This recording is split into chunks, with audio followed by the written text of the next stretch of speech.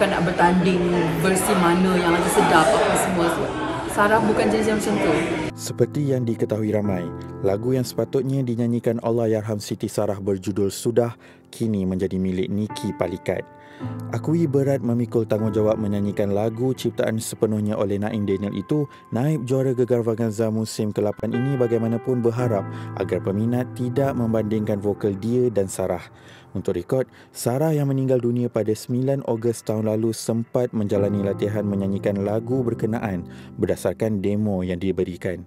Dengan karya yang sebegitu jujur dari segi penulisan, tak susah untuk kita menjiwai dan sampaikan.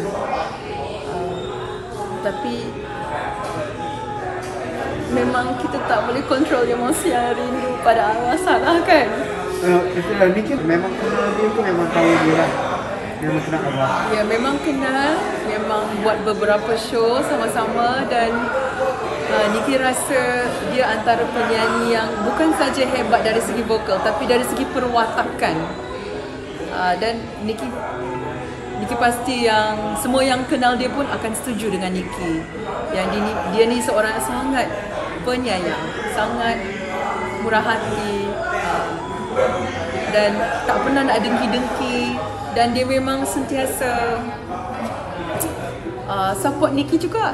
Uh, support uh, uh, music Niki juga. Jadi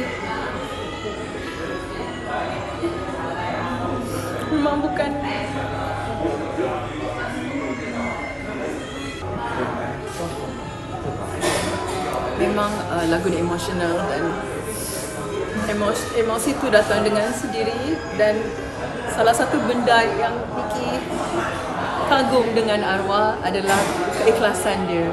Dan sometimes Niki terpegun dengan uh, dia punya pesona dekat atas pentas sebab dalam dia punya kehebatan suara apa semua dia tetap ikhlas dan kita sentiasa rasa keikhlasan tu. Dan uh, itu sebenarnya yang uh, niat Niki untuk sampaikan lagu ni. Bukan bukan nak bertanding versi mana yang lagi sedap apa semua. Sarah bukan jenis yang macam tu. So I just try to honor uh, pasal bab keikhlasan tu. Dan uh, itulah perspektif Niki sewaktu nak hasilkan lagu ni.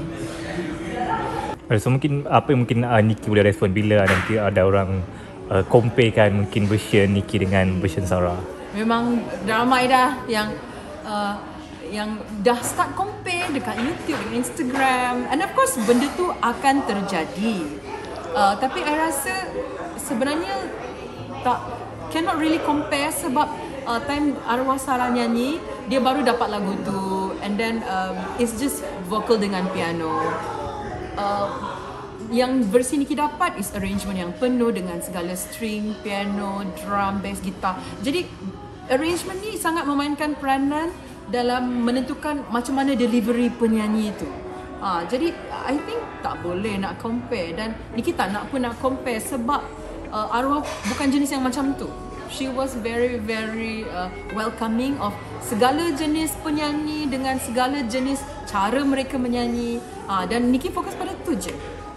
Okay, mungkin apa yang Niki boleh katakan kepada uh, peminat-peminat Niki di luar sana? Peminat Niki memang even sebelum GV dah tanya bila nak keluar single lama tak jumpa Niki rindulah bla bla bla uh, masuk JGV yes yes single baru Niki habis JGV kena tunggu berapa kena tunggu 2 bulan untuk lagu ni keluar. Jadi uh, penantian mereka dah memang cukup bersabar dengan Niki untuk keluar dengan satu karya yang baru. Tapi at last finally hari ni launching lagu uh, lagu baru Niki hmm. jadi Niki rasa macam lega bersyukur emotional uh, macam-macam bercampur bau perasaan Niki pada hari ini. Oh, okay, Niki mungkin selepas habisnya Gegar Baganza. Okay. Yeah. Selepas dua bulan ini adalah uh, orang kata macam anak selepas keluar Gegar Baganza. Mungkin apa lagi next uh, perkembangan Niki dalam kerjaya seni?